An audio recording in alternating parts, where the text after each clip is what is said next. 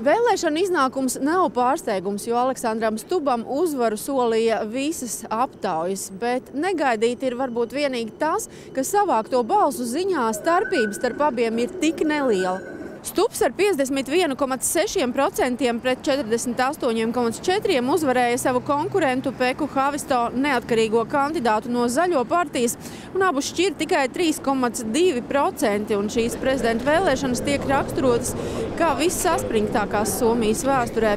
Kamēr tika skaitītas balsis, abi kandidāti kopā gaidīja rezultātus Helsinku pilsētas hallē, pēc tam arī savas partijas vēlēšana nakts pasākumos.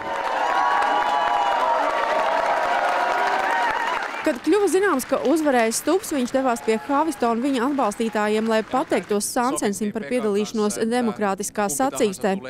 Jaunievēlētājiem prezidentam ir 55 gadi, dzimis viņš Helsinkos, bilingvālā somu un zviedru ģimenē, proti piecas valodas ir izglītojies gan ASV un Eiropas augstskolās. Doktora grāts ir iegūts starptautiskajā politikā.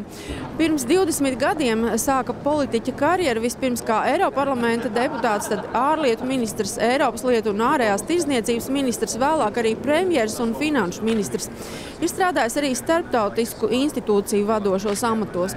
Stups jau iepriekš ir izteicies, ka viņa lēmums kandidēt bija balstīts bažās par Krievijas uzbrukumu Ukrainai.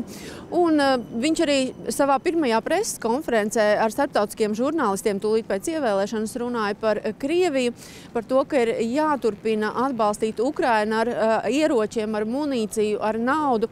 Un ceļš uz mieru, diemžēl pēc stuba ieskatiem ved cauri kara lauku. Un viņš nesaskata nekādu iespēju, piemēram, miera sarunām ar Krievijas politisko vadību, ar Putinu. Odita Krenberga, Jānis Goldbergs, Latvijas televīzija no Helsinkiem, Somijām.